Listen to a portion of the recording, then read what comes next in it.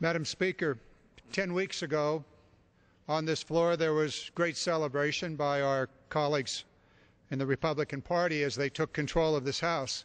And there were many sermons given to all of us by the members in the majority party about the need to listen to Americans. I suggest we do that at this moment as we consider this bill.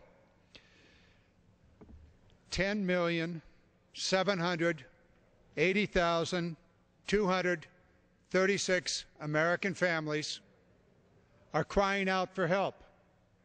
We should be listening to them. I know that the gentle lady from, Madam Speaker, the gentle lady from uh, Illinois has a big heart. And she knows that 430,000 of the homeowners in Illinois are crying out for relief.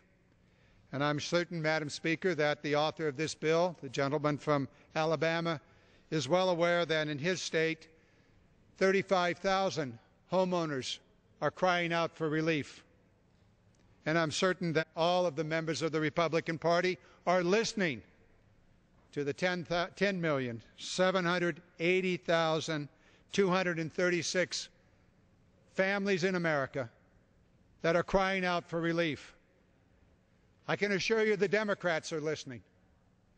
My amendment, Madam Speaker, is one that goes to one of the three reasons why they are crying out for relief.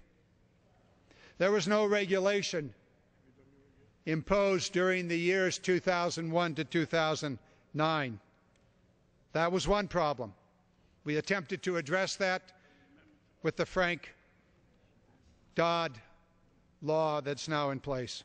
The second reason was irresponsibility. And certainly some of those homeowners who are crying out for relief were irresponsible, and certainly some of those who lost their homes already were crying out for that are crying out for relief were irresponsible. But the big irresponsibility were the bankers in this nation that took advantage of millions upon millions of homeowners and engaged in irresponsible activity. The third item is where my amendment goes, and that is to Wall Street greed. We know from the commission that was assigned the responsibility of looking at why the great crash occurred, we know from that report that greed was the underlying motivation for Wall Street. My amendment goes to that greed. In the future, not in the past, and some of my colleagues have spoken to the need for criminal action, which is also part of that report done by the Commission. This goes to the future. This amendment goes to the future and says for those in Wall Street, the high and the mighty that get the huge bonuses, most of which were just in the news this week, that their bonuses should be in the stock of the company in which they are operating, and that those bonuses be held in an escrow account for a period of time so that either the good or the bad effect of their action would be known, and so that they could not take immediate benefit from their irresponsible actions. This amendment would put a damper on Wall Street greed. This amendment is necessary to put a damper on Wall Street greed, and it goes directly to one of the reasons why this bill is before us.